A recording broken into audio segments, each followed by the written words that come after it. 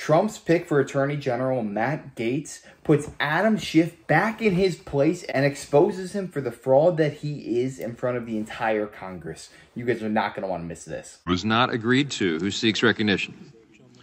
Gentleman from California uh, seeks recognition. Mr. Chairman, I have an amendment at the desk. The clerk will report the amendment. Reserve a point of order. Point of order is reserved. Mr. McClintock. Amendment to the amendment in the nature of a substitute offered by Mr. McClintock, offered by Without Mr. objection, Schiff. the amendment will be considered as read, and the gentleman is recognized to explain his amendment.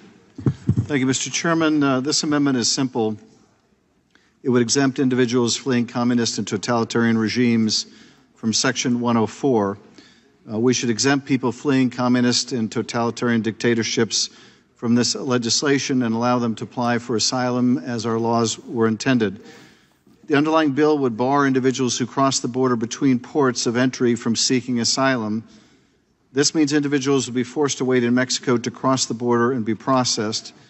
That would make people fleeing communist and totalitarian regimes uh, sitting ducks for the cartels for exploitation, abuse, kidnapping, or murder. Uh, we have seen what happens when people are forced to wait in Mexico for too long. Under the Remain in Mexico program, there were over 1,500 publicly reported cases of murder, rape, torture, kidnapping, and other violent assaults against migrants returned under the Remain in Mexico program. In fact, just last month, we saw what happens when vulnerable migrants are put at risk, when migrants in an immigration center in Ciudad Juarez were left to be burned alive. This is not the fate we want for anyone, and we don't want people fleeing totalitarian dictatorships like people fleeing Venezuela or Cuba or Nicaragua or Russia or China or Vietnam or elsewhere to have to face those kind of dangers. There was a time when my colleagues on the other side of the aisle claimed to oppose communism and totalitarian dictatorships and welcomed people fleeing those horrible regimes. The underlying bill suggests otherwise. Uh, I urge my colleagues to join in this amendment so that those fleeing asylum are not put at additional, those fleeing uh, persecution by these communist regimes are not put at additional risk um, by having to wait for long periods of time uh, in dangerous places before they can lawfully uh, apply for asylum. Will the gentleman yield for a question? uh, with that, Mr. Chairman, I'll yield will you yield for the clarifying question? Um, you could seek your own recognition. I'm going to yield back to the chair. Gentleman yields back. Does the gentleman seek recognition? I, I, I guess so. Is, the point of order is withdrawn, and Mr. Gaetz is recognized. Thank you. I yield to the sponsor, if the sponsor would be willing to engage in a colloquy with me. Uh, would you consider the Kingdom of Saudi Arabia to be a totalitarian dictatorship? Uh, Mr. Gaetz, I, I give the same answer that Representative Lofgren gave before. These are not new terms of art. These are the terms used in current law. Uh, and so we are merely applying current law to protect people, uh, and in particular, in this case, those that are fleeing communist dictatorships. Um, if the gentleman, uh, his objection is that this definition is overbroad. Oh, oh, oh, no, no, no. no, no, no. Mr. You, Schiff, you, Mr. you, Schiff, I- you I yielded to me. I'm asking you a clarifying if you question. Would, if you would yield, uh, if you would respond to my question, which is, if this amendment is narrowed to communist dictatorships, will you support it? Well, again, Mr. Schiff, I'm just trying to understand I guess your your answer is no, then, Mr. Gaetz. that you perhaps assume too much, my Then friend. your answer is because yes. you, you, you, I'm asking what you mean by totalitarian dictatorship and just whether the Kingdom of Saudi Arabia would qualify. It's just a yes or no question. well, I, I, I certainly think. Forgive me for not No, knowing I'm- the I'm- list that Ms. Would you, would you like an answer, Mr. Gaetz? I, I, I'm I certainly consider. Uh, Saudi Arabia to be a dictatorship. Yes, I do. a totalitarian one. Um, but, uh, well, uh, Mr. Gaetz, my question is if your problem with this amendment is you think it's Mr. overbroad. Schiff, I'm not stating a problem with well- the amendment. well, I am merely well, asking you my, what it my means. question then, Mr. Gaetz, is What is the difference it? between a dictatorship my and a question- totalitarian dictatorship? my question- Since Saudi Arabia is there, a there is a di- difference between totalitarianism and dictatorship. Sure, I'm asking you to explain But- the but Mr. differences the Kingdom of Saudi Arabia. That's really the, the question, Mr. Gaetz. Why can't you just unless, answer whether or not your amendment would unless, apply to Mr. Gaetz, this is just a rhetorical exercise. It's if a- you're it's interested, serious effort to understand whether or not your amendment if your applies to the question kingdom. is sincere, which I know assumes too much, but if it is, It is. then will you support the amendment confined to communist dictatorships? Yes or no, Mr. Gaetz? I'm probably not going to support the amendment either way. That doesn't there mean I- you I go. don't- I there don't you wanna go. know what well, then, then what about all the rhetoric you, you constantly espouse about standing up to communism? Here you're saying someone fleeing communism, if they're interdicted between ports, uh, then then they will not qualify. Right. Doesn't matter what there kind of is regime. a mechanism by which one seeks asylum for those very reasons, and it's not showing up and creating an entire So this whole thing about Saudi system. Arabia is just a red herring, right? I'm. Gaetz? just curious to know whether or not you Well, I- consider I- them qualifying under the bill. your and I have, but I I have would- I would burned two and a half minutes. and it's just a simple consistency. question. You know, Mr. Schiff, people on the appreciate border don't get to have a more than debate like this like you know how to. It's not your time, Mr. Schiff. I'm if you reclaiming would my stand time. up to Mr. Gaetz has the time. Mr. the Gaetz way has you the say time. you do. Mr. Gaetz has the time.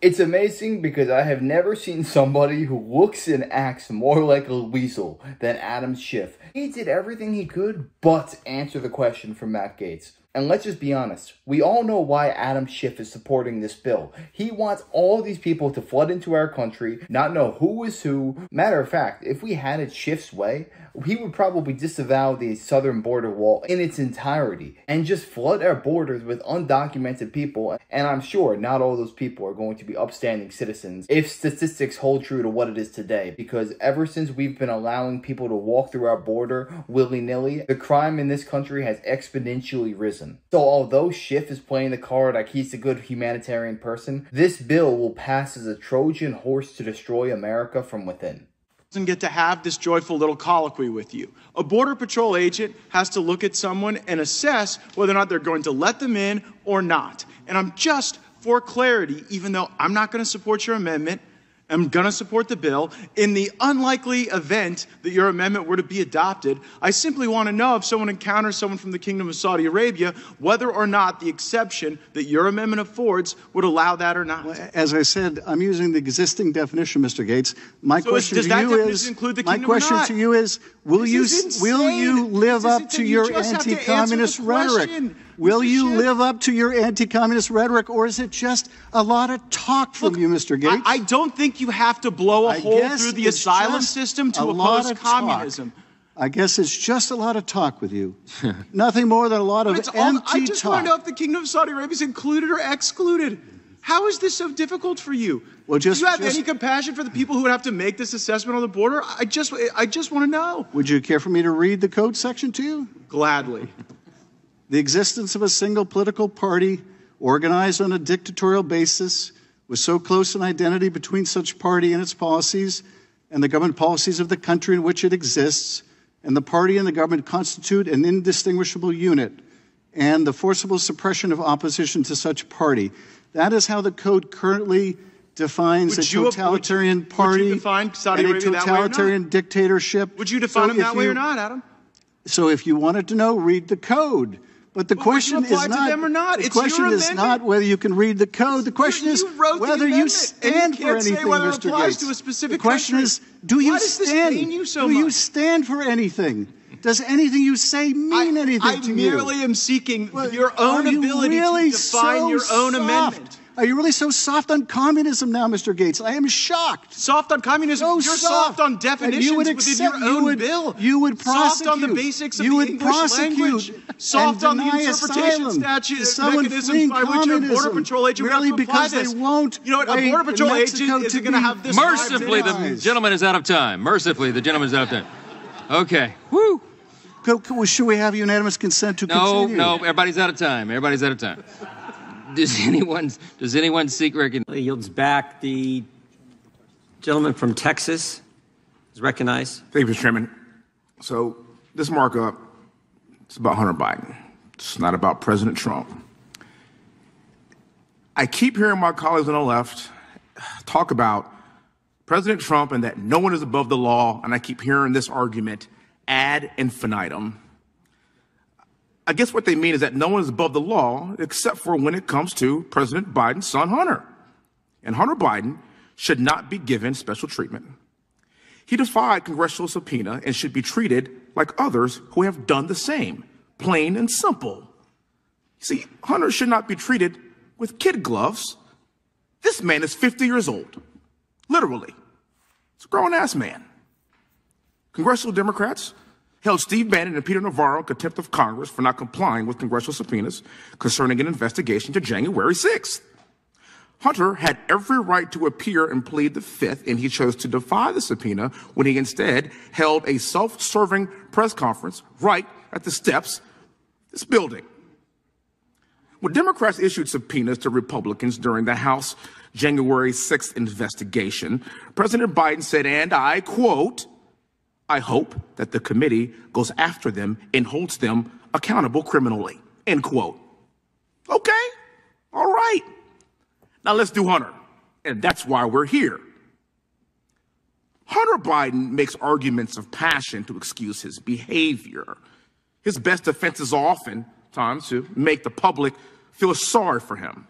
That's right, we should feel badly for him because he personally enriched himself because of his last name. And again, the left wants us to treat him with kid gloves, and this man is 50 years old. Please. Your daddy's saving you at this point. It ain't to work here anymore. You should not be given special treatment because he thinks he's an American prince. And I don't mean purple rain. A witness does not get to decide his preferred method of appearing before the committee. The committee that subpoenaed the witness does. That's how this place works. House committees are not in the business of letting witnesses dictate to us the type of, uh, type of depositions or hearings that they want to have. This is not a kangaroo court like President Trump is seeing in the New York trial. It's up to the committees to determine the best methods that will further their investigation. And rather that be through deposition, transcribed interview, or public hearing. This is our job to do that. And Hunter Biden does not get to dictate that to us. And with that, I yield back the rest of my time. Thank you, Mr. Chairman.